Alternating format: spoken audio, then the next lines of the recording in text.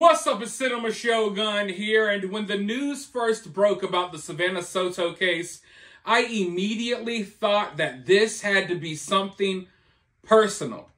And when more details came out about how Savanah and Matthew were killed, about how quickly their bodies and their vehicle was disposed of, I also thought this has to be personal. But now that more information has trickled out, I'm starting to change my mind just a tad bit.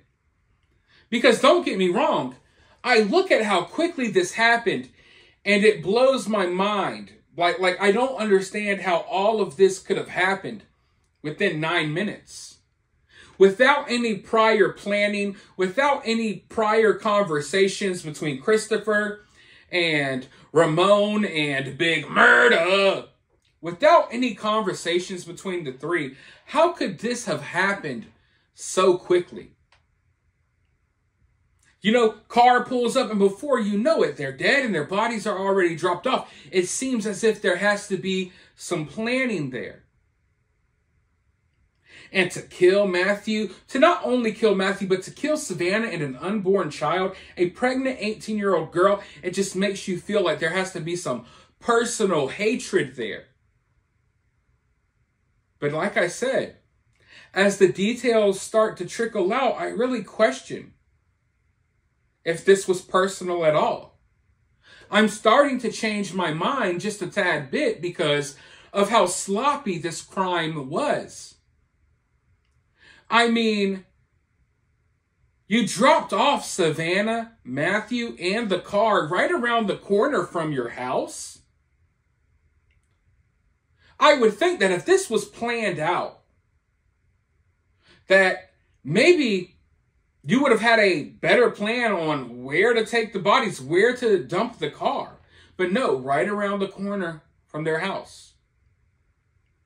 And you know, if this was personal, it had to be planned, right? But there were so many mistakes made that it's hard to look at this like, oh, this was planned, this was personal now. I, I, unless we're just dealing with the stupidest people alive, which is very possible. But the fact that they ditched the car right around the corner from the house the cell phone, Savanah's cell phone, right there in the car. You didn't even dispose of the cell phone.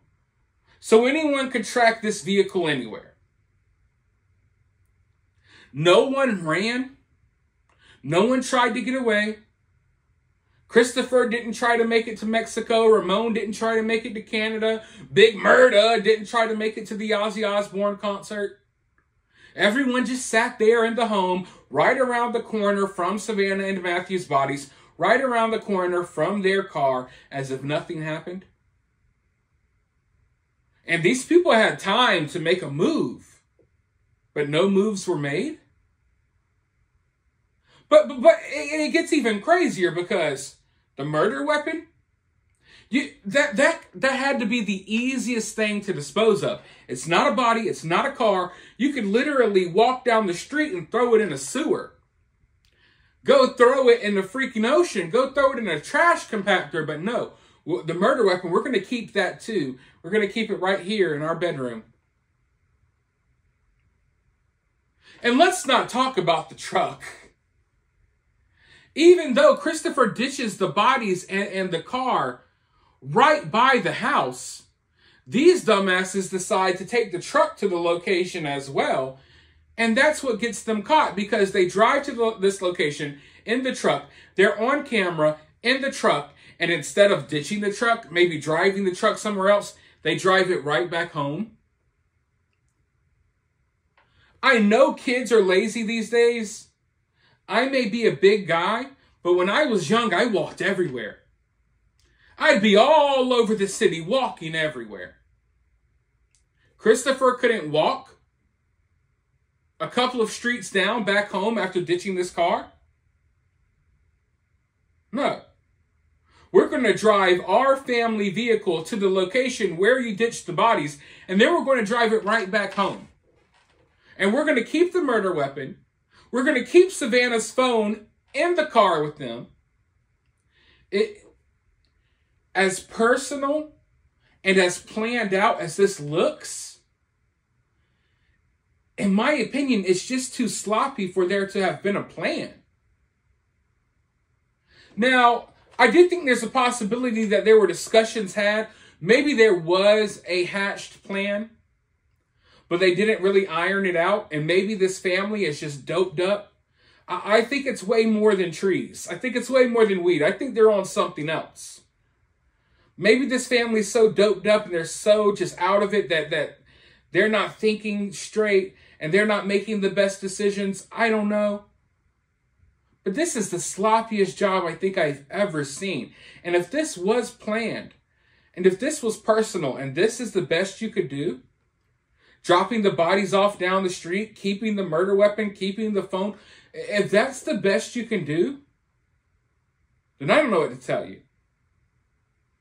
So even though this case, it's really simple, it's at the same time confusing because you look at the manner of the crimes and it feels personal. You look at how quickly this happened and it seems planned. But then you look at how easily they got caught. You look you look at the fact that they put zero effort in really trying to get away with this. And that's when you start questioning, wait, maybe this wasn't personal. Maybe this wasn't planned. Because anyone with a personal vendetta would have had time to think out the situation a little bit more.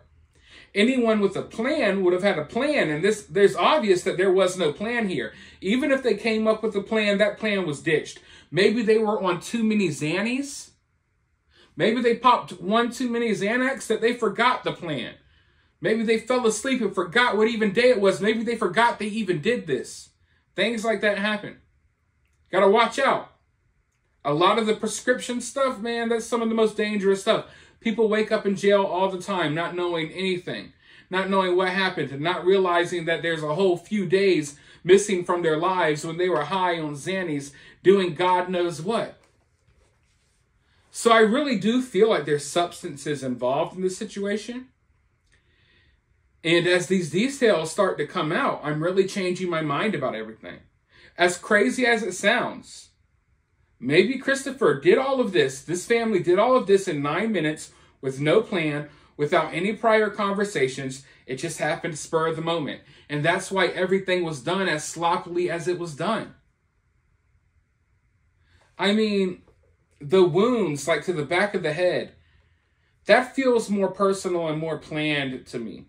That doesn't feel as spontaneous that lets you know that at, at, the very least, regardless of what discussions were had beforehand, I do believe that Christopher went into the vehicle or Christopher linked up with Matthew with the intention of killing Matthew.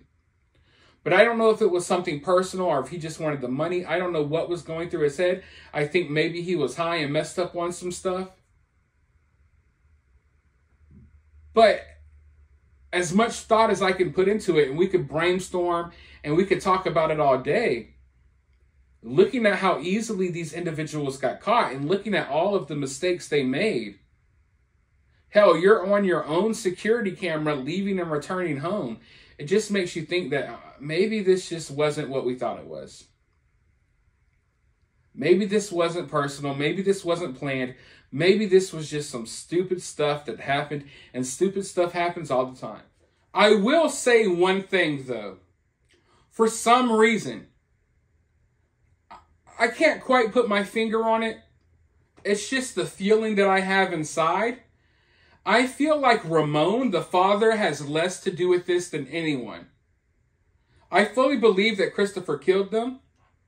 But if anyone had anything more to do with this, I think it's more so Big Murda.